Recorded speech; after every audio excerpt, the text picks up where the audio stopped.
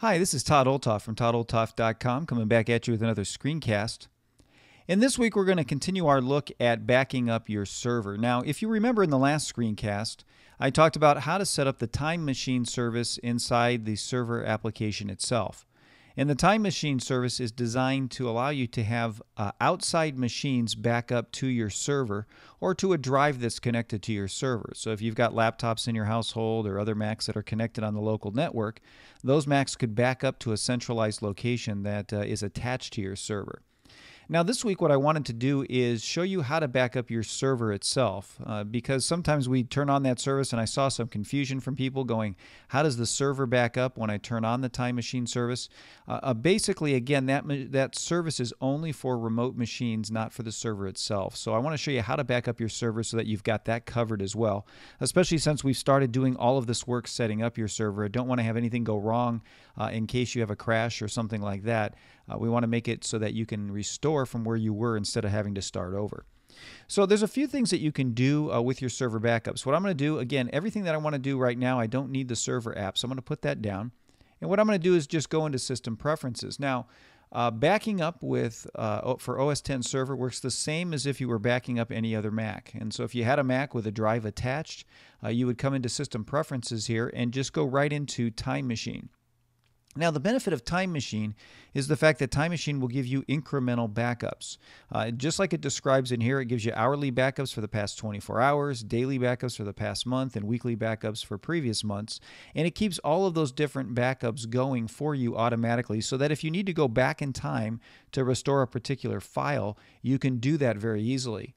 Now, Time Machine also will allow you to go back in time to uh, actually uh, pull some of your data back. Like, let's say you need to do a fresh install of your machine. You could use Time Machine to then restore your machine uh, and all of the different data and things that you've got from your server. So it does back up the server items and allows you to do that as well.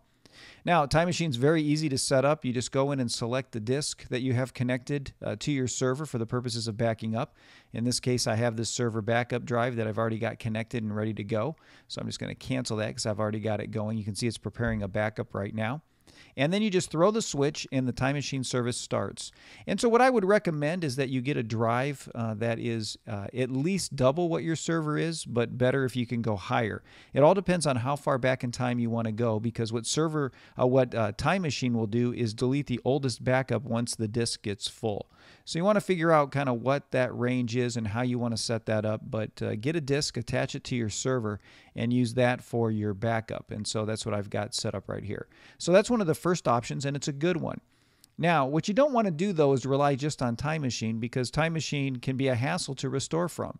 Uh, because now what you've got to do is do a clean install if your machine goes down. Then you've got to go through the migration assistant to come and pull your data back from the Time Machine backup, and it can take quite a bit of time.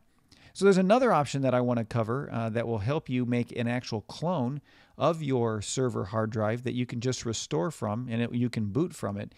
And that's a program called SuperDuper. Okay, here we are over on the Shirt-Pocket website, and this is SuperDuper. And again, the beauty of this application is that it makes a bootable copy of your main hard drive. And so what that means is that you could actually boot from that external hard drive uh, and have that run your entire operating system. And so the reason we do this is because when you clone your server, if your server for some reason goes down, maybe the internal hard drive goes down, you're able to boot from this external drive with this clone that you made and actually restore your entire server from there. Not only that, but you could actually run from the clone uh, while you're getting a new drive sent in uh, that you would then later put inside your uh, Mac that you've got running server and then you can clone your clone back to that main drive and start over just like everything is the same, like nothing's changed. And so that's one of the benefits of it. Now, there's a couple of things. Super Duper, you can make the clone for free. You don't have to purchase the application.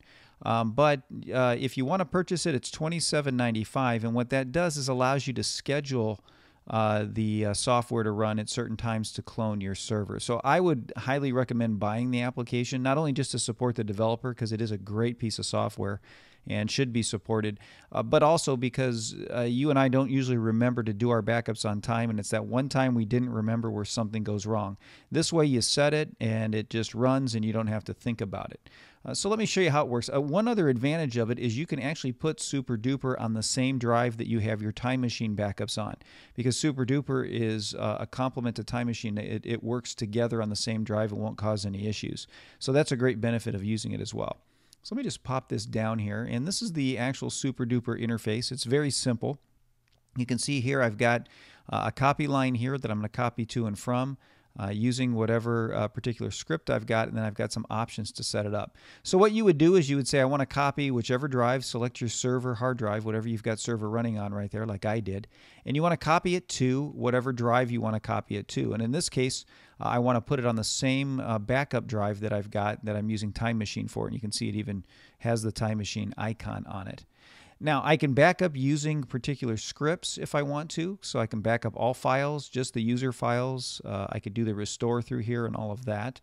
Uh, or you can do custom scripts that I've got set up as well. And so for those of you that wonder, this is a script that just excludes my Backblaze backup information uh, so that Backblaze doesn't get confused when my, uh, when my clone drive is running saying, hey, I got two drives that look the same. So that's just what that script is for. Uh, now, what it does, it tells you what it's going to do. And if you just click on options here, you can select different options that you want to use. Uh, from here, you can do it erase uh, the server backup and then copy the newer files over. You can just copy newer files or copy different files. What I recommend is doing the smart update uh, of the server because that way every time it runs, it's only going to update what's changed. It's not going to have to update everything else because your first backup will take a little while to, uh, to get done. And so you want to make sure that uh, you uh, give some time for that, but the smart update is the way you want to go for that. Uh, and then you can even say, you know, hey, when it's done backing up, you can restart uh, from the backup you just made. You can set the server to backup as a startup disk. You can inject the server backup disk. I mean, you can do a number of different, you can even shut down the computer if you want to, which again, I don't recommend um, when you're using uh, server. Uh, but anyways, there's there's just a number of little uh, options there. Again, in the advanced, you can run some shell scripts if you want to, or install packages. Uh, I just generally leave that alone. I'm not really concerned about it. You just want to make sure it says Smart Update. So I'll just say OK. Now that's all set and ready to go, and it tells me what it's going to do. If I press copy now, it's going to use the backup all files script right here to copy this drive to this drive using Smart Update.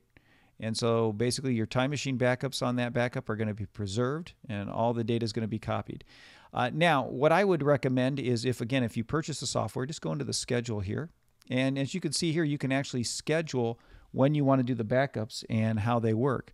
So you can say do it, you know, the first, second, or third of the week. You can say to do it uh, every day. Uh, it's up to you on how you want to do that. Uh, for those of you that might be connecting the drive manually, you can say whenever I connect this particular drive. Um, and it tells you down here again what it's going to do. And so what I want to do is I'm going to copy it, um, you know, every weekday because that's when I do a lot of my work. I'm not going to worry about the weekends, and it's just gonna it's just gonna run that, and I'm going to run it, you know, late at night.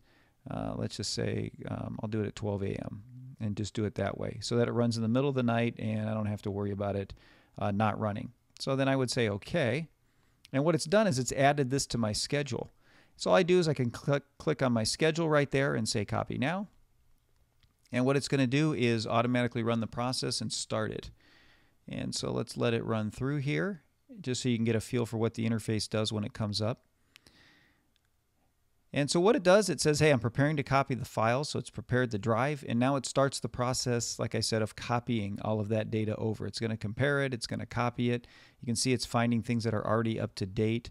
And uh, there's a bar right here that'll that'll go through, and when it's done, it'll say this the copy was successful. So I'm going to go ahead and let this run and let it do its thing. And when it's done, I'll come back and show you what it looks like. Okay, here we are on the other side here. You can see that Super Duper has finished its copy. You can see that it's copied all of the files over and it's made uh, my uh, drive there a server backup. It's made it bootable so that I can boot off of it. And so that kind of gives you an idea of how Super Duper works. So you want to make sure that you do have a clone of your main server hard drive. Uh, so now that we've talked about uh, making a clone and doing a time machine backup, now let's talk about backing up some of the specific data that is found in the server application.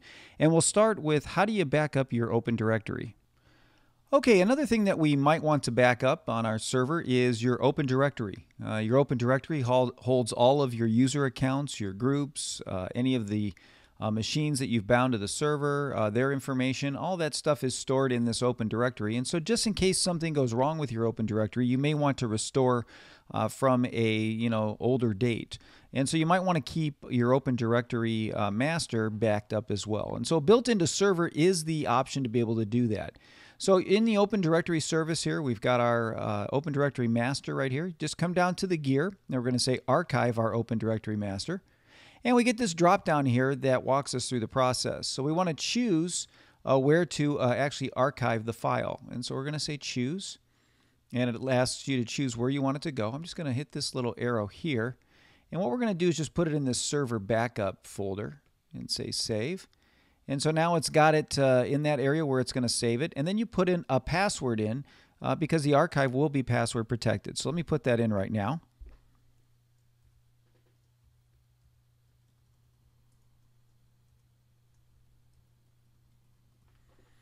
And once you've got that in, click Next.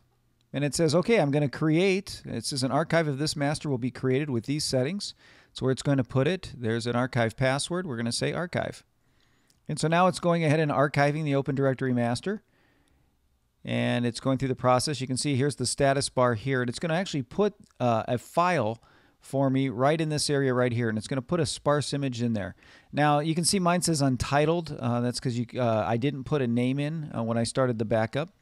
But uh, there we go. Now it's done. And so in order to see that, I can actually just go into the Finder here.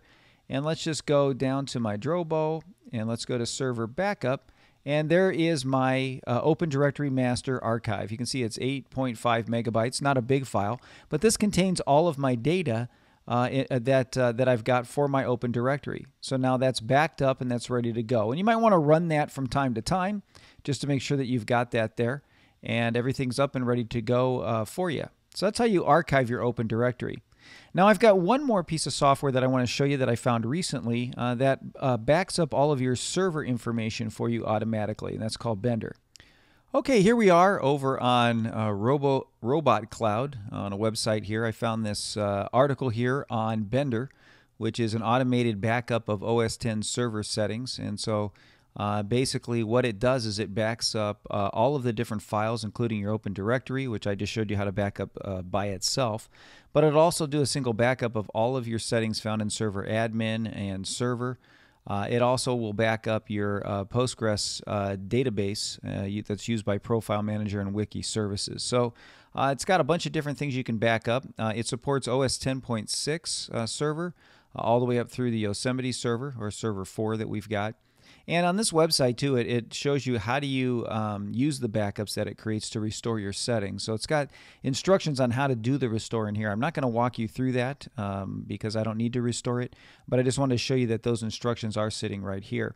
So all you have to do is click the uh, uh, download right here to download Bender application. And so if I just come up here, I've already done that. And let me just double click on the package there. And let me put this down. And so here we are, welcome to Bender. So I'm going to continue and continue here and agree to the terms and say install. And it's going to ask me to authenticate. And I'm going to say install the software. So now it's uh, configuring it, writing it. Now it's been successful. So I'm going to close that down. And I'm going to go in here to the Finder. And what Bender has done is if you go into the root of your uh, drive there, and you go to server, you go to your server hard drive, whatever that is, and you'll notice right on the root level there, you've got a backups folder that it creates. And inside there, what it's done is it's backed up my Open Directory data right here. It's at backed up Profile Manager, uh, Server Admin, so all the different pieces that go into the various settings. Uh, the wiki database is right here, as well as any wiki files that you've got. And in this case, I haven't set up wiki yet, so I don't have anything there. But as you can see, Bender is a uh, is kind of a great application. It just runs in the background at 10 p.m. every night and makes these backups, and it'll just put them in here by date and allow you to back up your files. Now, if you want to see where uh, Bender installs itself, it's not in the Applications folder. It's actually under here on Library. And if you come down to Launch uh, daemons. Let's see, right here. and it's right there. It's this robotcloud.bender.plist. That's where it installs itself. So just in case you wanted to know where that was and how it functioned, it's a launch daemon that runs in the background. So hopefully that gives you an idea of how to back up your server to keep all of the files and things and all the hard work that you've put into the settings, uh, making sure those things are backed up just in case something goes wrong so you know how to restore your server and get it back up and running in a hurry. So that's all I have for this week. I'll be back at you next week with another screencast to help you learn how to do more things with your Mac.